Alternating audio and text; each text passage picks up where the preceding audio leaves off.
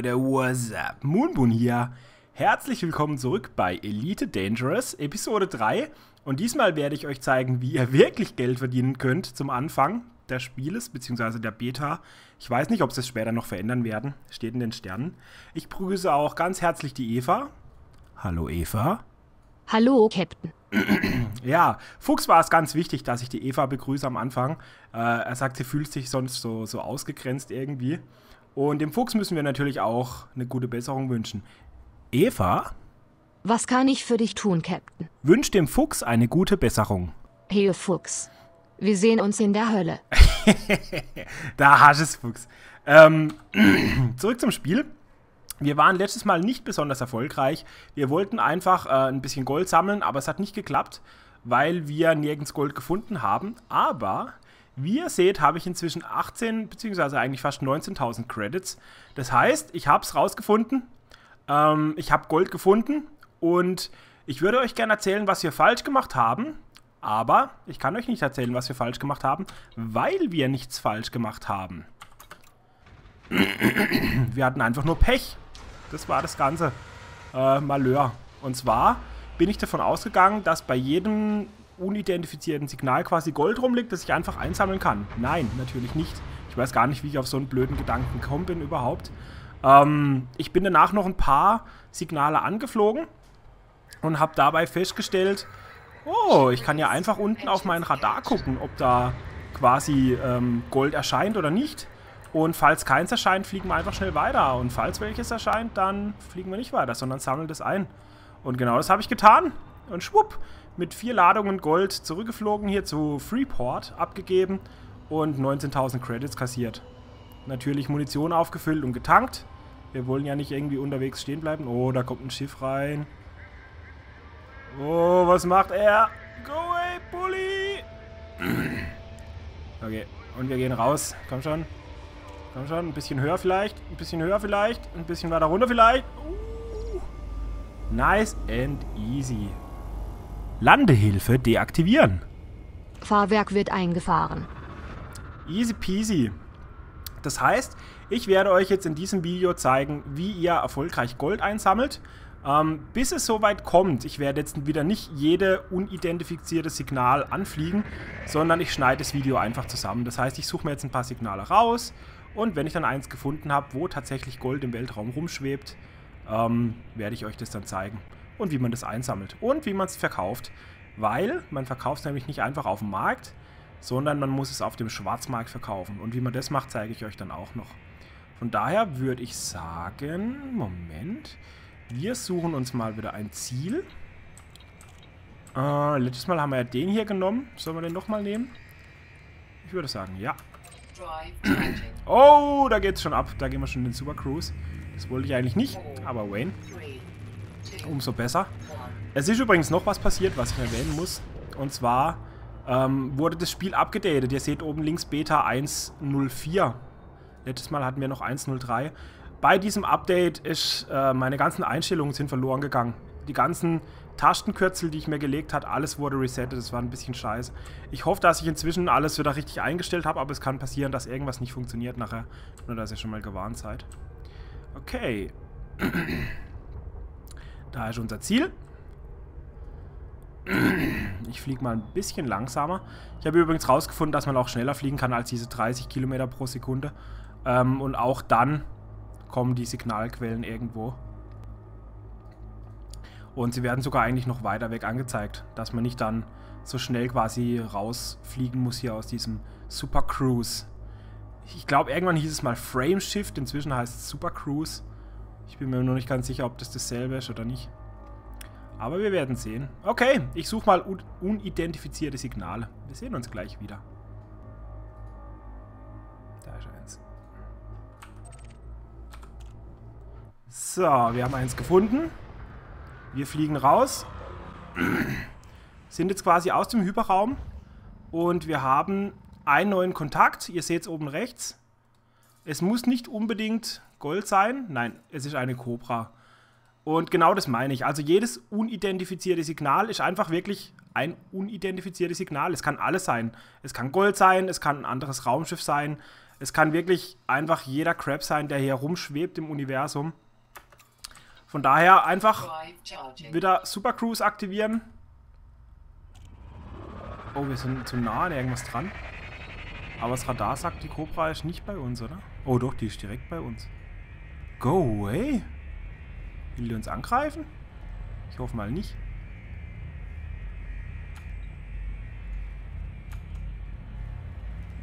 Ja, und da sind wir weg.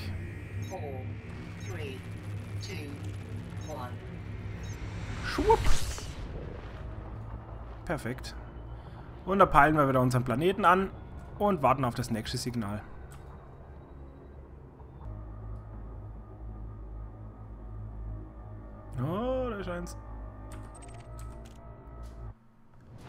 Und direkt raus aus dem Hyperraum. Aufs Radar schauen. Radar geht noch nicht. Wir haben One New Contact. Wir sehen schon, es ist was Gelbes und es fliegt ein bisschen über uns. Es ist wahrscheinlich wieder irgendein Raumschiff. Da vorne ist. Ziel anvisieren. Ziel erfasst. Oh, ein Transporter. Hm. Well, hello there. Thanks for dropping by. Okay, dann nimmt sogar Kontakt mit uns auf und macht ein bisschen Smalltalk, so wie es aussieht. Sind da sonst noch Schiffe? Vielleicht wird er überfallen. Uh. Wir könnten jetzt dem seine ganzen Systeme quasi... Boah, das ist ja interessant. Angreifen. Ja, brauchen wir nicht. Wollen wir auch gar nicht. Ich würde aber gerne jetzt mal einen anderen hier ins Target nehmen. Weil den wir, den wir die ganze Zeit hier im Target haben, das ist eine Sonne. Ich habe ehrlich gesagt keinen Bock auf die Sonne zuzufliegen. Das blendet ein bisschen. Okay, neues Signal suchen.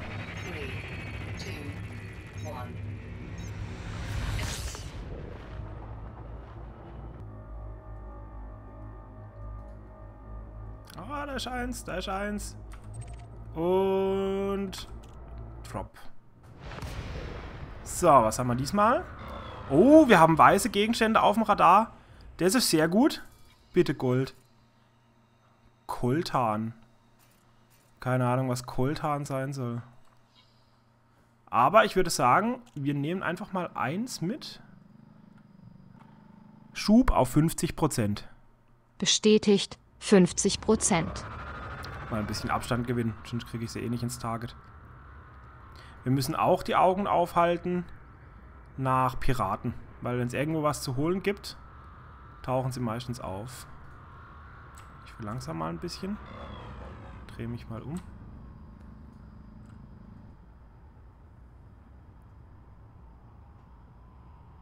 Also diese Target-Anzeige funktioniert mal wieder überhaupt nicht so, wie sie soll, da rechts unten. Mit dem gelben Fadenkreuz. Ich glaube, wir orientieren uns jetzt wirklich eher am Radar. So. Und jetzt müssten sie vor uns erscheinen. Jawohl, da haben wir es. Zwei Kilometer. Ich weiß halt echt nicht, was Koltan sein soll. Jetzt geben wir mal ein bisschen Gummi. Und tun schon mal ähm, den Frachtraum öffnen. Eva? Eva? Was kann ich für dich tun, Captain? Ladeluke öffnen. Frachtraum jetzt offen. So. Jetzt seht ihr unten links in meiner Target-Anzeige, wie ich quasi auf dieses Frachtgut zufliege und manövrieren muss. Das muss immer so ziemlich äh, in der Mitte bleiben von diesem Fadenkreuz, damit es aufgenommen werden kann.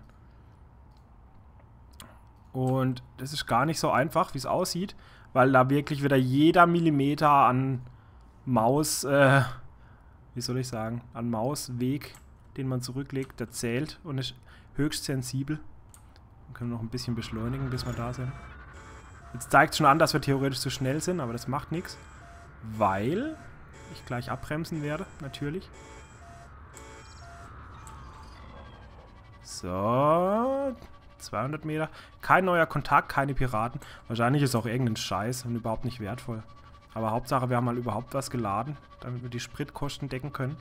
So, so langsam gehen wir rein hier. Es ist sogar ziemlich mittig. Sieht gut aus. Impact. Bisschen rechts. Bisschen runter. 40 Meter und... Oh nein. Komm schon. Perfekt. Cargo acquired. Okay. Hat jetzt die Ladeluke automatisch geschlossen? Halt mal. Äh, Cargo? Oh, das ist gestohlen. Okay, das heißt, das können wir dann auch auf dem Schwarzmarkt verkaufen. Sollen wir jetzt die anderen vier auch noch einsammeln? Ich würde sagen, ja. Oder sollen wir weiter nach Gold suchen? Hm, wo schwebt denn der Rest rum von dem Zeug? Das müsste... Ich bin wahrscheinlich wieder genau auf dem Spot. Ah, da haben wir was. Ja, perfekt. Ah, ne, die Ladeluke ist noch offen. Na also, nehmen wir mit, wenn wir eh gerade drauf zufliegen, komm. Bisschen beschleunigen.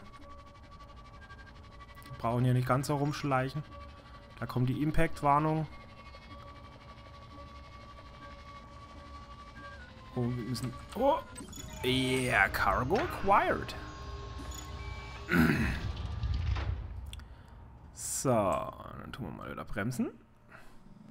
Und mit dem Gold funktioniert es genau gleich. Also, man fliegt rum, findet weiße Sachen auf dem Radar, hält an, guckt, ob es Gold ist und dann zackt man es ein. So, wo sind jetzt die anderen Dinger? So, jetzt drehen wir uns einfach mal um 180 Grad. Und dann müsste es eigentlich mit dem gelben Zielsystem... Oh, da ist. Perfekt. Ein Kilometer. Gib Schuh, Baby. Und ins Fadenkreuz damit. Das Problem ist, wenn man beim Goldsammeln genauso lang braucht, ist die Wahrscheinlichkeit groß, dass Piraten da sind.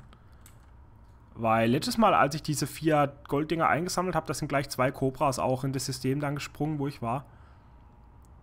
Und es war schon ziemlich hektisch. Da habe ich mich natürlich nicht so dumm angestellt.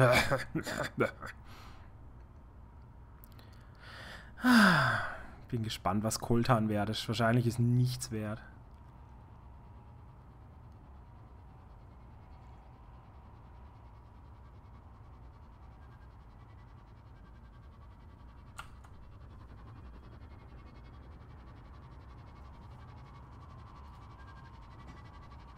Oh ja, 300 Meter.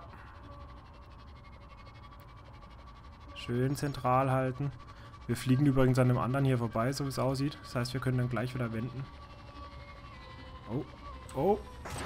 Boah, nice.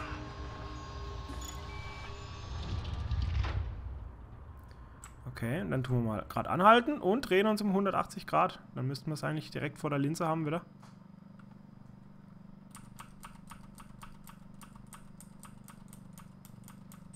Ja, da ist es.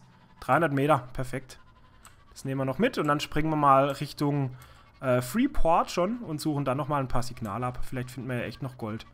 Dann werfen wir dieses komische Koltan auf jeden Fall raus, was auch immer es sein mag. Gold ist auf jeden Fall wertvoller.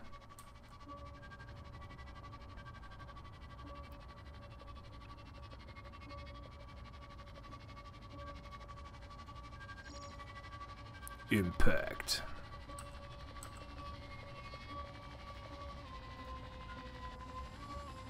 Okay. Jetzt kriegen wir ja auch die Warnung, dass unser Laderaum eben voll ist. Das heißt, wir müssten jetzt rein theoretisch zurückfliegen und verkaufen. Ladeluke schließen. Frachtraum geschlossen. Okay. Ähm, was bist denn du? Wie heißt eigentlich der Planet? Oh, ich bin... Ich habe den Schub aktiviert. Das war keine Absicht. Wie heißt eigentlich der Planet da vorne? Äh, bist du das? Ja, das bist du. Hyperantrieb aktivieren. Antrieb aktiviert. Wir müssen noch beschleunigen.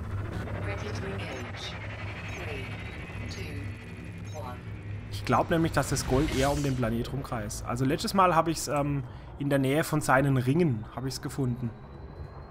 Oh ja. Oh Gott, oh Scheiße. das war knapp. Was haben wir hier? Seid ihr unten? Ja, nee, du bist Extraction Site. Was bist du? Du bist Freeport. Ja, da sind wir jetzt schon ein bisschen zu nah dran wahrscheinlich, ja? Jetzt warten wir mal ab, vielleicht finden wir ja noch eine Signalquelle. Und wenn nicht, ist auch nicht schlimm, dann gehen wir halt zurück nach Freeport und verkaufen dieses komische Zeug, was wir da gefunden haben.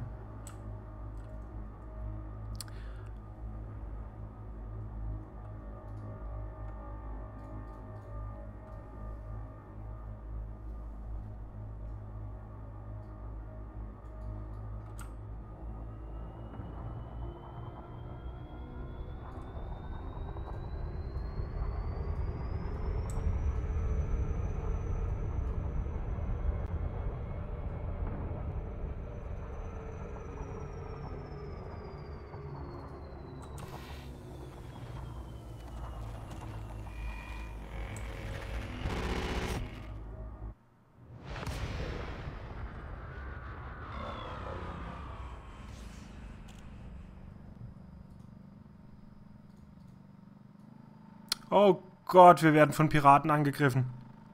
Wir sind aus dem Hyperraum geflogen und werden von Piraten angegriffen. Safety Cooldown in Progress. Nein, nein, nein, nein, nein. Weg hier. Frameshift Online. Und natürlich ist der Planet im Weg und wir können nicht schnell genug abhauen. Oh Gott, hoffentlich erwischt er uns nicht. Was ist? Ein Sidewinder. Hm. Okay, auf einmal habe ich nicht mehr so viel Angst.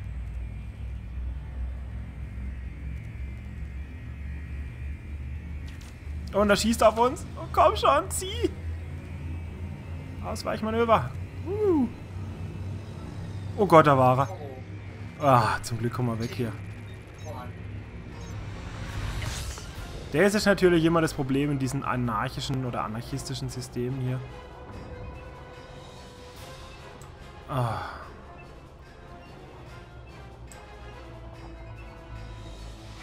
Okay, das passt. Dann bitte Freeport. Lock Destination. Wo haben wir's? Da oben. Ah. Nein, zu dir fliege ich nicht mehr. Garstige Sonne. Resource Extraction Route auch nicht. Freeport. Können wir schon ein bisschen Gas geben. Hoffe ich doch.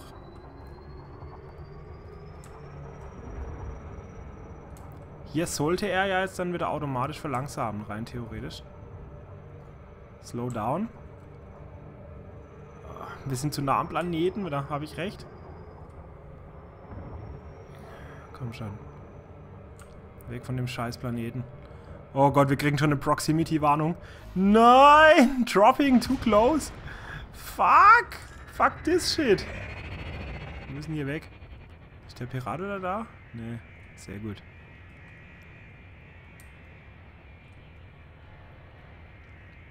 Volle Energie auf Antrieb. Bestätigt, Motoren erhalten volle Energie. Perfekt. Es ist halt immer noch zu langsam für 12.000 Kilometer. Wir müssen... Ah, perfekt. Problem gelöst. Align with Escape Vector. Wo haben wir ihn? Den Escape Vector. Ich sehe ihn nirgends. Ah, da, das blaue. Whoop, whoop, whoop, whoop, whoop. Four, three, two, one.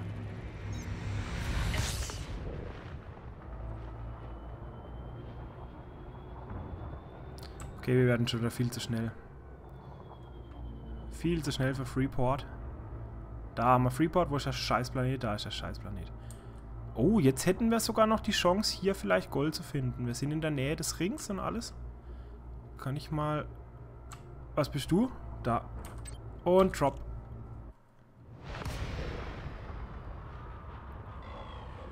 Haben wir es auf dem Radar?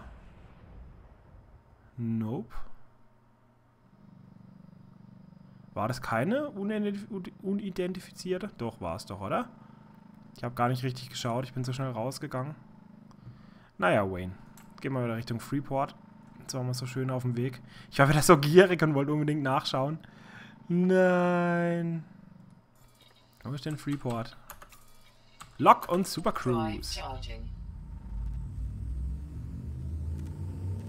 Ready to engage.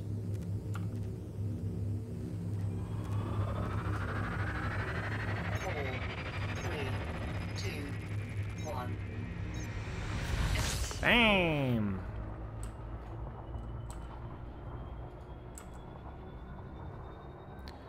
Oh Gott, bin ich froh, wenn wir da wieder angedockt sind. Das gibt auch wieder so ein Manöver nachher. Hoffentlich ist das was wertes Zeug.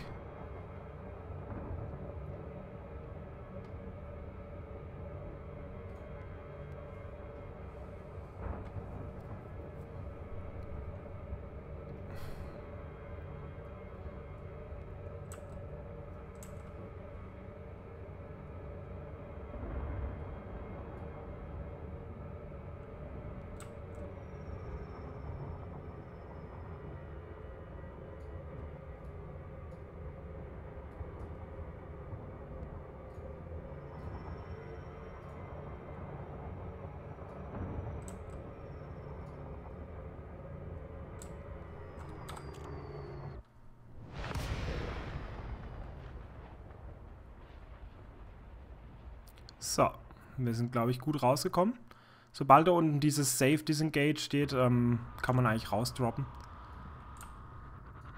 Und da sind wir bei Freeport. Oh Gott, wir haben noch die volle Energie auf dem, auf dem Antrieb. Müssen wir aufpassen. Nicht, dass wir da reinrasen wie die Blöden. Mm, ich sehe die Achse, aber ich sehe nicht den Eingang. Ist das da unten der Eingang? Ich glaube eher, dass da oben der Eingang ist. Auf Full Speed hier. Kopfmodus aktivieren. Oh, ich sehe nichts. Mein Rumpf ist im Weg. Ich sehe null. Oder ist das doch der Eingang da unten? Man sieht es nicht genau, ne? Es könnte sein. Da ist so ein Loch. Und da ist Licht. Doch, ich glaube, dass das der Eingang ist. Das wäre ja mal ein Glück, wenn wir beim ersten Mal gleich die richtige Seite erwischen von diesem Ding. Ich habe übrigens immer noch kein Docking-Makro geschrieben. Ich fauler Hund.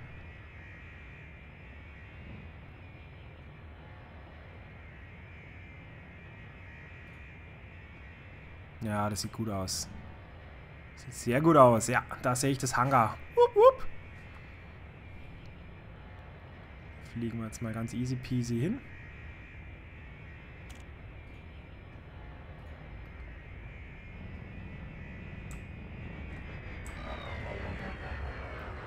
So. Energieverteilung normalisieren. Okay, das war es nicht. Energiehaushalt normalisieren. Schon erledigt. Danke. Manchmal weiß ich selber nicht mehr, was ich hier alles für Befehle beigebracht habe. So, und jetzt fliegen wir mal, bis wir hier genau drunter sind. Oh, oh, oh, okay. Oh, das ist schon relativ gut. Landehilfe ausfahren. Ah, Landehilfe aktivieren. Fahrwerk ausgefahren. Landehilfe aktiviert. So, und dann fragen wir, ob wir docken dürfen. Und wir dürfen an Dock 13. Haben 10 Minuten Zeit zum Landen. Oh nein! Komm schon ein bisschen weiter links. Nicht so weit, nicht so weit, nicht, nicht, nicht. Oh. Na gut, ab geht er der Peter.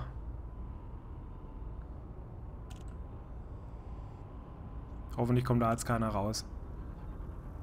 Das wäre zu lustig. Oh, was macht er? Was macht er? Nein, das war so klar! Oh, fuck you, Alter. Und jetzt hängen wir hier fest, oder was?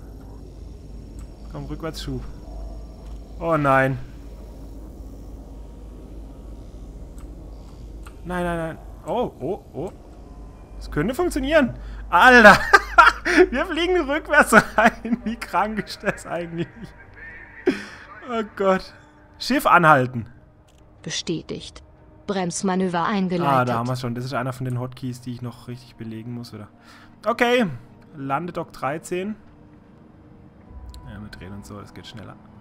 Wupp, wupp. Was bist du? Bist du schon 13? Sieht es für euch aus wie 13? Ich glaube, das sieht aus wie 13. Das ist aber eng hier am Eingang. Das ist scheiße. Oh Gott.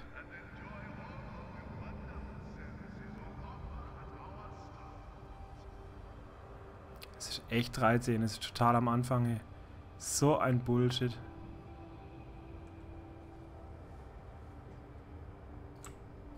Und bremsen. Nein, nicht, nicht negativ. Genau null, bitte. Achso, das geht ja nicht, Schiff anhalten. Oh, jetzt, wo ich es gebraucht hätte. Na gut, dann gehen wir einfach mal ein bisschen runter.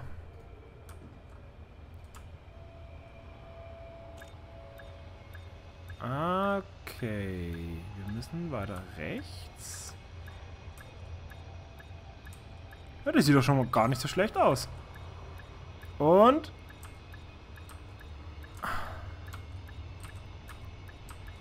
Oh Gott, ist das immer ein Stress hier zu landen.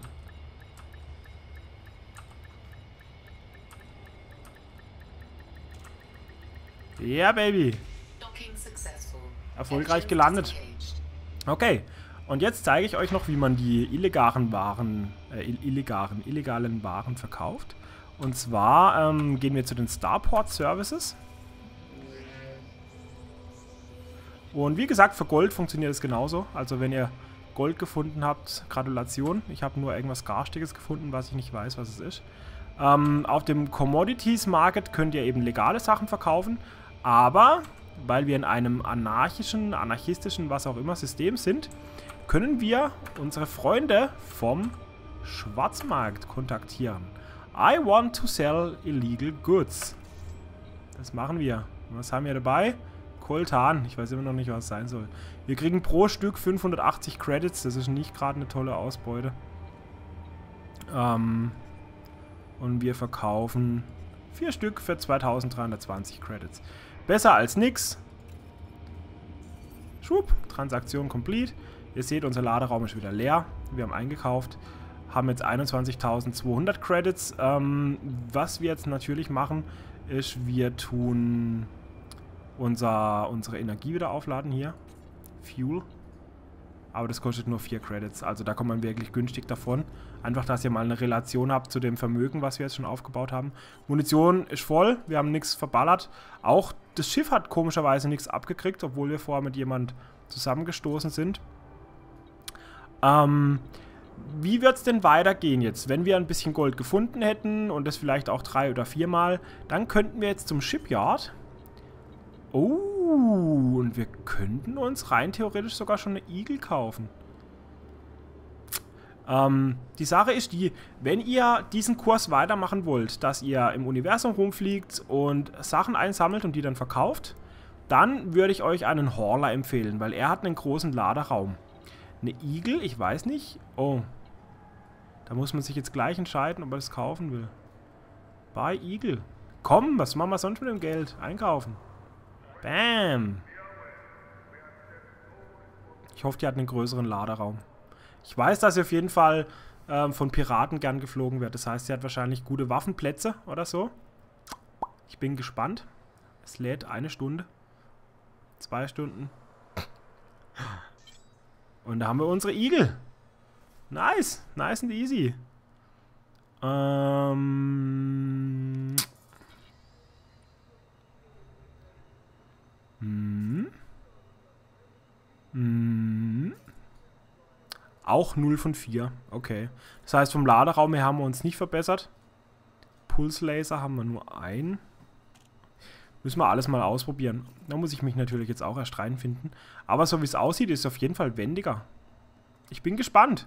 Okay, meine lieben Freunde, das war's von mir für dieses Video.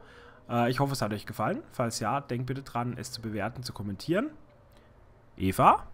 Was kann ich für dich tun, Captain? Verabschiede dich von den Zuschauern. Auf Wiedersehen. Ich hoffe, ihr schaut das nächste Mal auch wieder rein. Genau, hoffe ich auch. Wir sehen uns wieder. Ich bin Moonboon und ich bin raus. Ciao, ciao.